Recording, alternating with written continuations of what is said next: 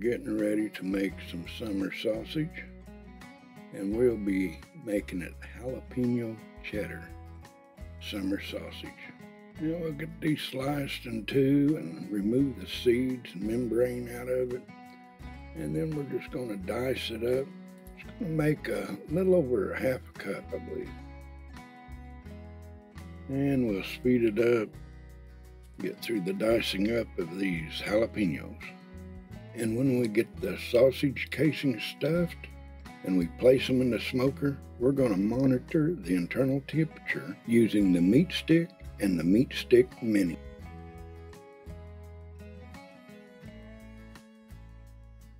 And our sausage is going to be made from rib trimmings and then some uh, lean ground beef.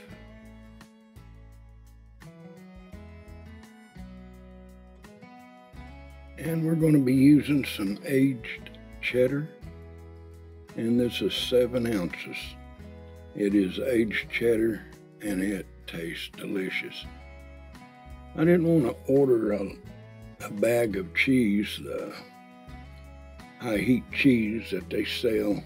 Uh, I didn't need that much. I don't make that much at a time. So I found this, done a little research and found this and I'm going to try it. I don't know if anybody's ever used this in their summer sausage. I thought I'd give it a try and see how it comes out.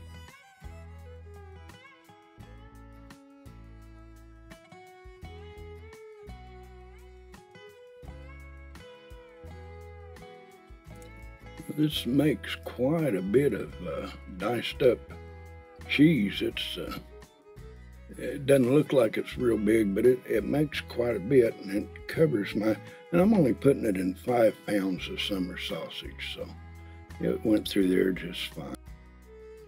Now I have these ready. I'm gonna cover them here and I'm gonna put them in the refrigerator. Now it's time for our rib trimmings and we're gonna start uh, grinding this up.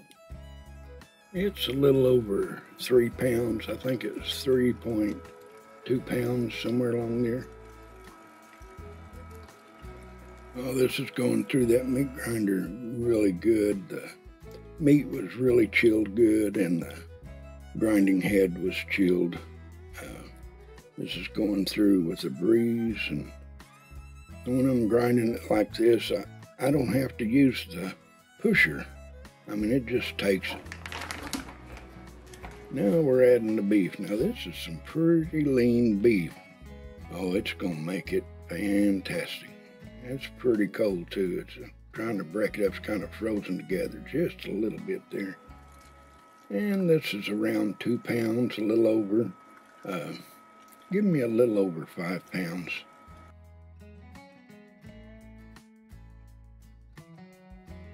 Now you'll be able to tell the beef from the pork. It'll be in there together in this tub. Uh, the beef is really red. And this is Backwoods summer, uh, uh, summer sausage seasoning that I use. I like it. It comes with everything you need and it also has the pink curing salt to put in there. It's measured out for five pounds. You can get one for five pounds, 10 pounds, I think, and 25 pounds.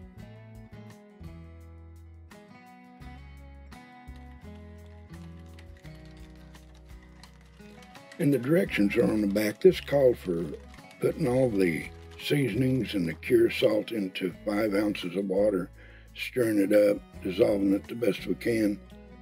And we're going to set it aside while we mix this beef and pork together now. Get it ready.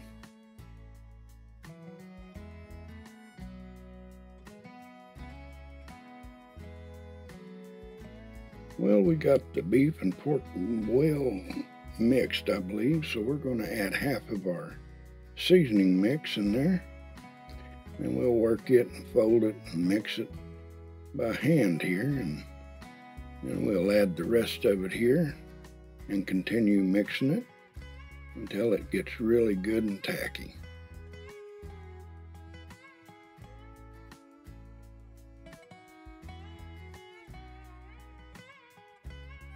And we added just a little bit of water to get the rest of that out of there.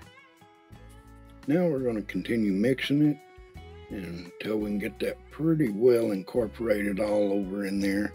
And then we're going to add our jalapenos and our cheese.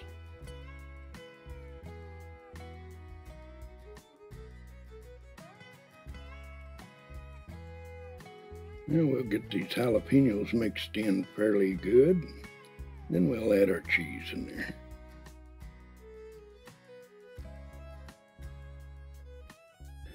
Now it's time for the cheese. Oh, that's some good cheese. Tell you what, I'm gonna buy some more of that.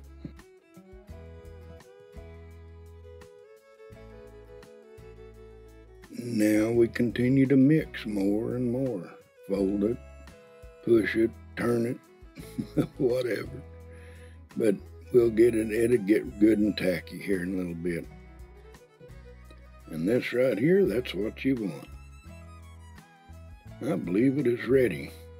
We got our sausage casings soaking in the water. They've been soaking in there about 35, 45 minutes. Get the sausage stuffer loaded, the tank, and push down on it to get the air out. As I load it in there, I'll push down to remove the air. We get the casings on there. And uh, we've already got the sausage coming close to the end there. So we'll fill these tubes. Now each one of these tubes will hold one pound of sausage. We get it to the end, we twist the end and we'll tie it off.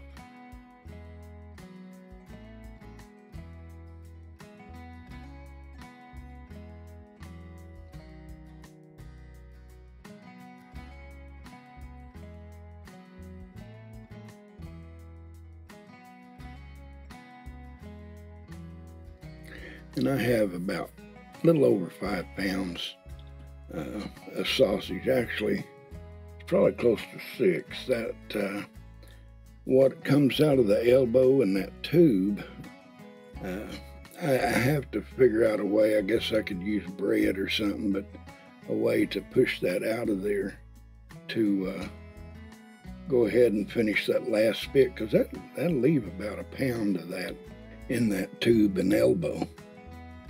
But we get it out and we make a, a loaf out of it, a, a small loaf, and we place it on the bottom rack. Well, we'll jump ahead here in just a short. I think we get five and a quarter tubes, and then uh, the loaf we make and put on the bottom rack. Now, when we get these out there to smoker, I'm going to be using my MeatStick and my MeatStick mini to monitor the internal temperatures. Uh, we'll use the MeatStick and the tubes in the center uh, one and then uh, the mini we're going to put it in the loaf and we'll monitor the internal temperature. Well, we hadn't seen the MeatSticks being used to make sausage, so we thought we'd try it smoker set at 275 and these have been on there about an hour and 50 minutes somewhere along there. Now that's given us our early warning. We're going for 165 internal on both of them. Hey and it says it's ready now so it took the loaf about another 10 minutes before it was ready. But here it is. I'm letting them come back down to room temperature and then we'll vacuum seal them and place them in the freezer. Look at this. This looks fantastic.